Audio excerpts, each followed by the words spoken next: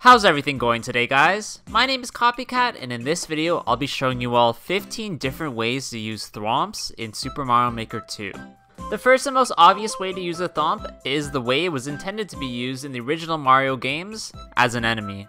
Thwomps have always been able to move vertically and horizontally, with the only difference throughout the years being how Mario is affected by them.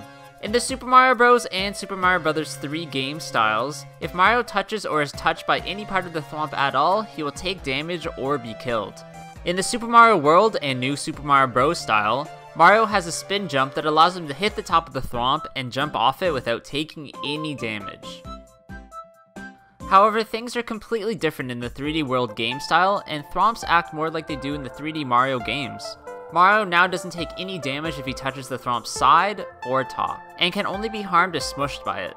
This leads to many cool new mechanics, especially our next way to use a Thwomp, which is... Like I said, because you don't take damage from the Thwomp in the 3D World game style, it can be now used as a way to travel vertically or horizontally in a course. In the Super Mario World and New Super Mario Bros. game styles, Mario can use a spin jump ability to constantly hit the Thwomp's head, which actually allows him to move with it.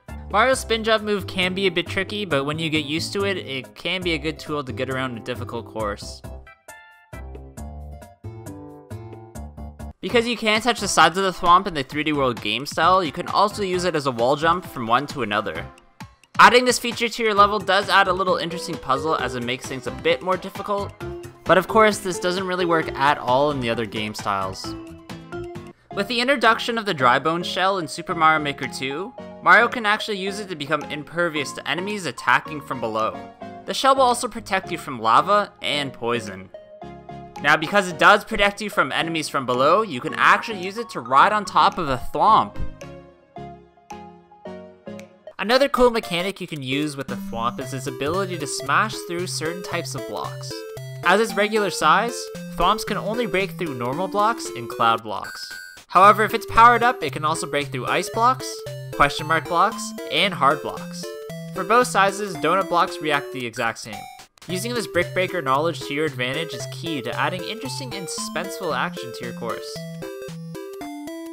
One of the best new additions to Super Mario Maker 2 has to be the on-off switch that toggles bricks solid or dotted, tracks up or down, and conveyor belts left or right. Since speedrunning courses are so popular in Super Mario Maker, people have come up with ingenious ways to use these switches in combination with the thwomps. This looks extremely cool, as you can't really see the thwomps as they're just above you off screen, triggering the switches and giving the illusion that you're about to hit a solid wall. Mario actually has two hat options that both affect the thwomp differently. The first is the Buzzy Beetle, which only protects him from the thwomp, knocking it back up ever so slightly. This could be used with the help of some semi-solid platforms as a puzzle, with Mario having to hit the thwomp higher so it could horizontally trigger a switch. The next hat Mario could wear is the Spiny, which is way more protective of Mario and actually kills the thwomp in one hit. There is one more power-up feature that you can add to the Thwomp, and that's giving them wings to fly. Now this makes them even scarier, as they still want to squish Mario, just now they can move left or right and chase him. I'm not sure how else you would use this on a Thwomp other than an opposing threat, so let me know in the comments below if you have any other ideas.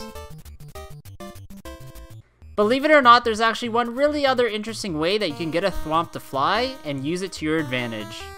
Now I showed you guys this glitch in my last video, every glitch in Super Mario Maker 2, and the idea is to place a beetle shell in front of a thwomp so it has to push it, and place a note block on the ground somewhere where both of these things will come in contact with it. For some unknown reason, this causes the thwomp to start behaving crazy, and it begins to fly diagonally through the sky. With the right setup, you can actually get it to fly vertically, which means Mario can use it as pretty much an elevator.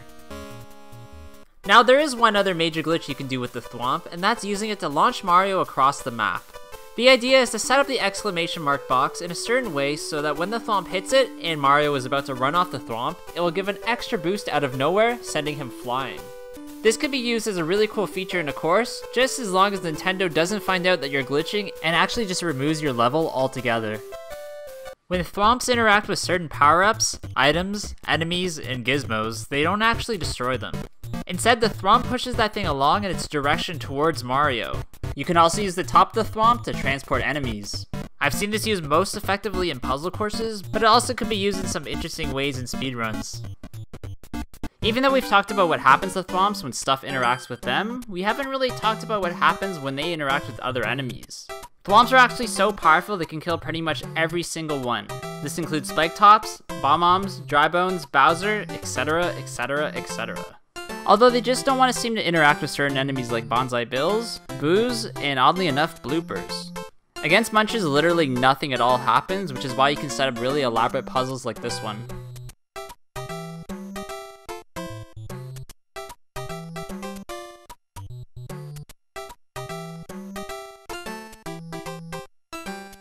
Now, up until this point, I've been talking about how Thwomps can interact with items, enemies, power-ups, and gizmos to be used in various puzzles, but we haven't talked about one really interesting way the Thwomp itself can be used as a puzzle.